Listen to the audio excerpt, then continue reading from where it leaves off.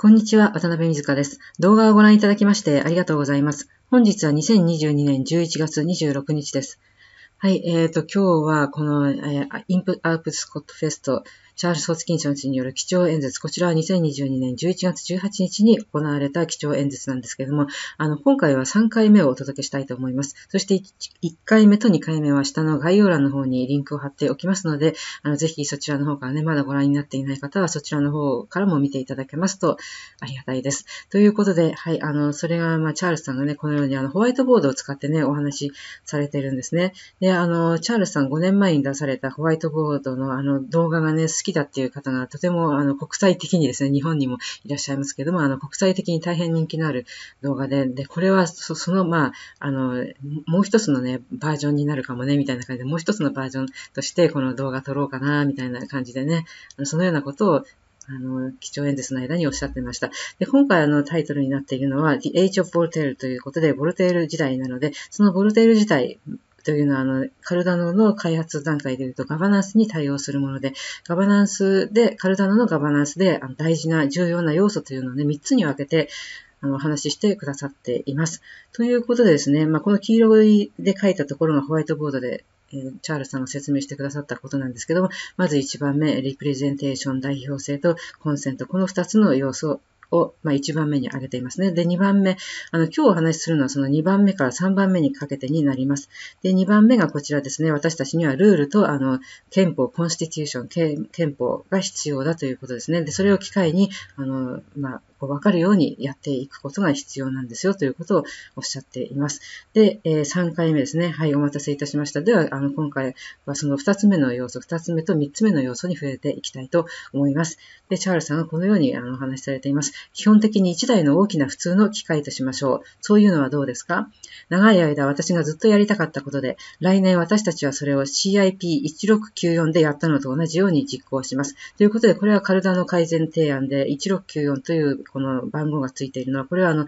ボルテールさんがね、ボルテールさんがあの生まれ生まれた年にちなんで付けられた番号です。で、これを書いていくんです。他にいい言い回しが見つからないので、これを CIP 憲法と言いますね。いくつかのアイデアを出していきますから、それを気に入るか気に入らないか嫌だと思うかを見ていって、そのまま続けてワークショップでとことん検討して、最終的にこれならやっていけると思うことに行き着くまで続けるのです。さあ、面白いことになりましたね。投票システムがあれば、憲法を承認するために投票することができます。どうですか？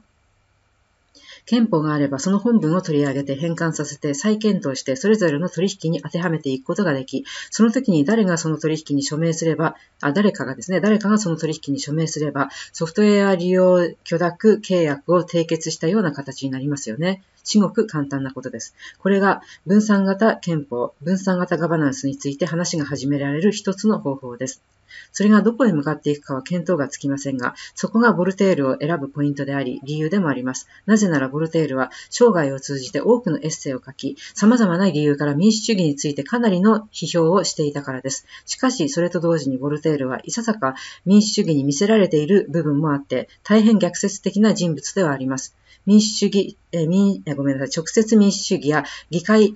性民主主義、立憲民主主義など、その性質を対比させて考えてみると、そんな風になるのでしょうということで、まあ、いろんな方面から見てみるとね、やっぱりボルテールさんはま批評もしたんですけれども、あの、まあ、多岐にわたるその、まあ、視点から見ていて、まあ、見せられる部分もあるっていうことを、あの、あの思っていらっしゃったんですよね。はい、あの、たくさんエッセイを書いたということです。で、このような性質のものをいずれも機能させるには、何が必要かをよく考える必要があります。また、だからこそ私たちは一緒に生活していますし、一つになってそれを実行しているのは素晴らしいことです。さて、三つ目ですが、私たちには institutions、機関が必要です。分散化で問題になるのは実際には分散化が行き渡ると仲介者は残らず排除してしまおうとなって間接的には機関というものを潰しにかかってしまうことです。全員が王国であり自己試験型の世界です。ということで、ここでチャールズさんね、まあ分散化分散化って言ってるうちに、それはでもね、やっぱり個人主義と違うなって私ね、あの、この話を聞いててだんだんそう思ってきたんですけども、あの単なる個人主義ではなく、やっぱりそうは言っても、あの、期間が必要であると。で、その理由をね、きちんと述べてくださっていますので、先に進んでいきましょう。で、3番目の要素としては、期間が重要であると。で、それはどういう目的のために、あの、まあ、設立されるのかといったら、deal with complexity、複雑さに対処するということですね。で、いわば期間とは複雑さに対処するために私たちが構築するものです。というのもそこら中にいる人の多くが原子力発電所の建設方法に関してその分野の専門家ではありませんし、脳外科手術に長けているわけでもなく、暗号解読者だったりゲーム理論者だったりするわけでもありません。そういう人たちはいることはいますが、そのような人たちは正式な学会としての機関や専門職同士のつながり、報道機関、査読のプロセスや認可や証明書の発行を請け負う機関などを構築する傾向にあります。なぜでしょうかそれは自分たちがしていることには基準、スタンダードがあると言おうとしているからです。私たちは人々にその標準に達していることを求め、その機関の集合的な知識をうまく管理してほしいと願い、その機関に貢献するのみならず、代々それを受け継いでいける能力を求めているのです。まあ、そのためにも、あの、機関というところが必要だと言っているわけですね。そしてある程度のやっぱり基準がないと何をするにもね、あの、知識のない人にその分野のことをやらせるわけにはいきませんし、また知識があったとしても、その人一人の考え方にこの傾くっていうのは危険なことでもありますので、そういう意味でもね、やっぱりインスティテューション、あの機関というところを設けて、一つのこのね、標準を作っていく必要があるということを言っているわけですね。で良い機関がなければ、良いガバナンスを持つことはできません。素晴らしい憲法を持てると言っても言論、宗教などの自由とは何かを本当の意味で理解する人がいなければそうはなりません。最高裁判所なしでそこの憲法の意味を誰が解釈するのでしょうか法律学者がいなかったら憲法とは何なのかわかるでしょうか？素晴らしい民主主義があっても問題はどのように意思決定を下すかです。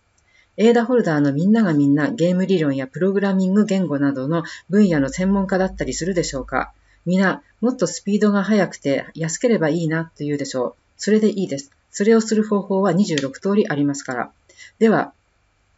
どの方法から選びますか？そう聞けば相手はメリットとデメリットは何でしょう？と聞いてくるでしょう。まあ、これはあのいいいいところ悪いところをすり合わせてね、まあ、メリットが多ければあのややってみるし、デメリットの方が多いんだったらやめるわって普通はなると思いますね。あのトレードオフというのはそれぞれにこうどういうふうにデメリット、デメリットとすり合わせて、この相殺していくか。で相殺した結果、まあ、メリットの方が残れば、あの、やるという傾向にありますよね。で、そう、誰、誰か助けてくれる人がいればいいのにということですということですね。まあ、その判断基準としてはね、はい、誰か助けてくれる人がいればいいのにということです。政府に目を向けてみれば、米国には議会予算局や米国、米国会計、えー、検査員があります。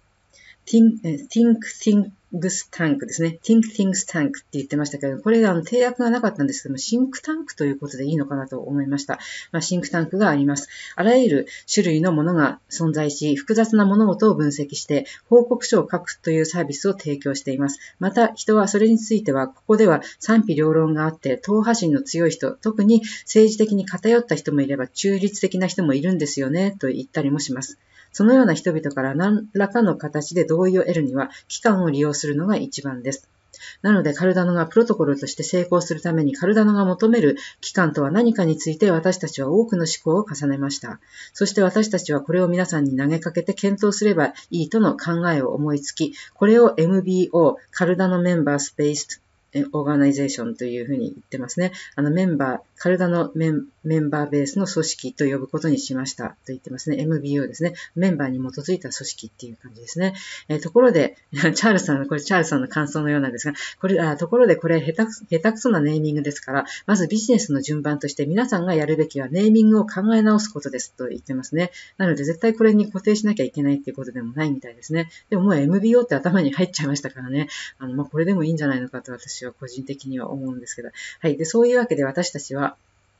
様々に異なる関心、関心事を寄せ集めてフィルタリングする、ふるいにかけるポイントとして MBO を築きました。私たちは年初からこの話し合いを始め、様々なオープンソースのプログラムやプロジェクトと噛み合わせました。Linux 財団やアパッチ、アパッチの人々、人たちなど、あらゆるところに掛け合って、カルダノ財団がしたようにオープンソースの専門家を雇ったりして、結論としてはとにかく何かやってみようということになりました。メンバー自身で運営実行し、委員会のスタッフを揃えて、有料なオープンソースプログラムに見えるようにし、技術運営委員会、ガバナンス運営委員会などもやっていけるものを設立するんです。そしてみんなに参加してもらいます。エーダホルダーなら誰でも参加できて、カルダノ上で何かを構築することができるし、歓迎しますよ。カルダノは私のものであるのと同じぐらいあなたのもので、そして他のみんなのものでもあるのですから。ここで大事なのは、カルダノの日々の日々の複雑さをふるいにかけ、ロードマップのようなものに集約し、